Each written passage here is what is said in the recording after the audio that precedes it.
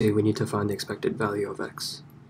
So just to recap, we found that the constant for this wave function is equal to the square root of 3 over b, so that's why this is going to be the wave function.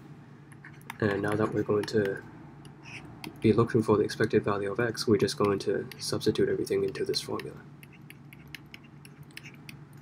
So you see that this is the probability density function, and you multiply it by x, and then you integrate it through all, all possible space. So from negative infinity to positive infinity. And this would give you the expected value. And then from negative infinity to 0, the wave function is just equal to 0. And then from 0 to a, the wave function is equal to this expression. So we just need to square this. So in the end we get x times 3 over b x squared divided by a squared dx. And then from a to b, the wave function is going to be equal to this. So we get a to b x 3 over b b minus x squared b minus a squared dx. And then from b to infinity, once again, it's equal to 0, so we can just ignore that part. So it seems like we need to focus on these two integrals over here. So let's try to integrate these, uh, these two integrals. So pulling these constants out, we have an integral of x to the power of third, and then over here we get something similar, so b, b minus a squared, so these are all the constants. And that, now I'm going to expand this term. So this is b squared minus 2bx plus x squared. So if you add the x over to this term, you get b squared x minus 2b x squared plus x to the power of 3 dx. So now we're ready to integrate both of these terms. So here we got x to the power of 4 divided by 4 and we evaluate this from 0 to a. Here we get all these constants and then integrating this this term becomes b squared x squared divided by 2 minus 2bx to the power 3 divided by 3 plus x to the power 4 divided by 4 and this is going to be evaluated from a to b. So now we need to substitute in these numbers. So let's open a new page so we have 3 divided by a squared b. And then substituting in a over here, we get a to the power of 4 divided by 4. So obviously these cancel out, so you get a squared instead. So another way to write this would be to write it out as 3a squared divided by 4b. And then for this other term, we get 3 divided by b, b minus a squared. And then now we substitute in b first. So we get b to the power of 4 divided by 2. And then we get minus 2b to the power of 4 divided by 3. And then we get b to the power of 4 divided by 4.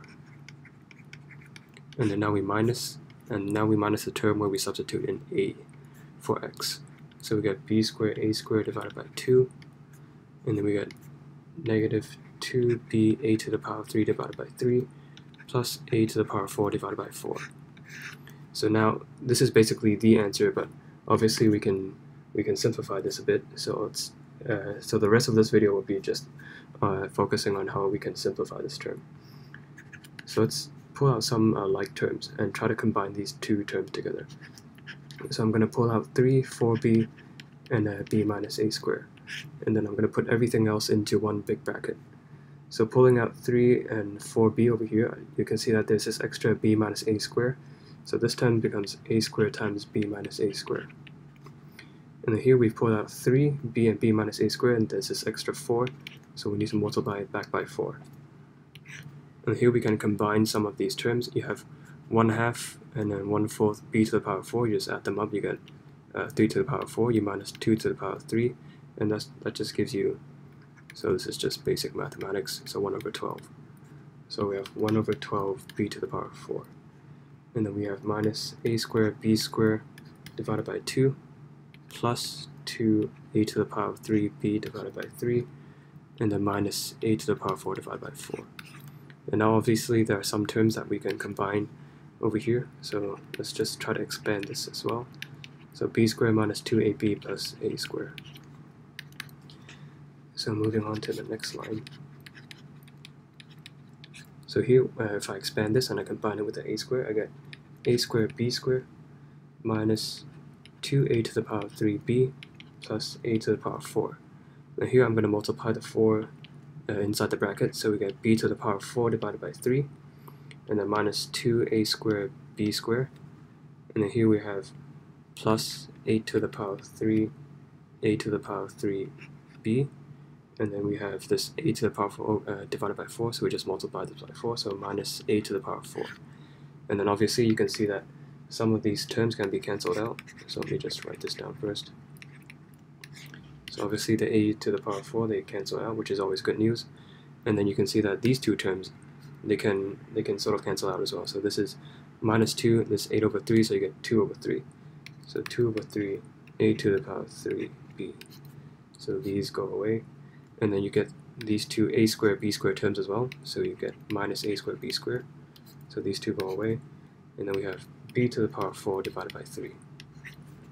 So now I'm going to multiply 3 inside the bracket. So I'm just going to change this to 1. And the multiplying 3 inside, this goes away, this goes away, and then we have minus 3. And then we can actually also pull out a b as well, because there's a b here at the bottom. So we can further simplify this by one step. So b minus a squared. So pulling out the b, this cancels out. And then here in the end we get the b to the power of 4 becomes b to the power of 3. And then minus 3a squared b so one of the b's they go away, and then we have plus 2a to the power of 3. So it seems like we're almost done, but we can actually simplify this even further. So what, what's coming up next is that we're going to try to factorize this term. So let's just copy this term down. b to the power of 3 minus 3a squared b plus 2a to the power 3. So this is really just a just uh, to test you on on your middle school, high school mathematics. So now the challenge is to factorize this. And the trick is to kind of separate this into two separate terms. So a, I'm going to separate this into b to the power 3 minus a squared b plus 2a to the power 3 minus 2 a squared b. So all I'm doing is just I'm breaking this up into two parts. It's minus a squared b and minus 2a squared b. So I can pull out a b, you get b squared minus a squared, and then you can pull out uh, 2a squared, and you get a minus b. And then b squared minus a squared, of course, I can just write this out as b minus a, b plus a. As you can see that these two terms are common factors, so I can just pull this out. So I get b times b plus a, and then minus 2a squared. So there's a minus sign because I have to flip this sign in order to change it from a minus b to b minus a. And then this term over here, we just get uh, b squared plus ab minus 2a squared. And then you can factorize this as well. You can just use uh, the cross method. Still, you should still remember what that is. And if you factorize this, you get b plus 2a, b minus a. So of course I can just combine this b minus a over here, and then take this away. So it seems like we can factorize this term into something like this. So going back to this problem, you can see that we can replace this term with this factorized term over here. So don't forget we're calculating the expected value of x. So it seems like the expected value of x is equal to this term, which we have found is equal to this factorized expression over here, 2a plus b. And then we divide this by 4b minus a squared. And then luckily enough, these two cancel out, so in the end our answer is 2a plus b divided by 4, and this is your answer. This is the expected value of x.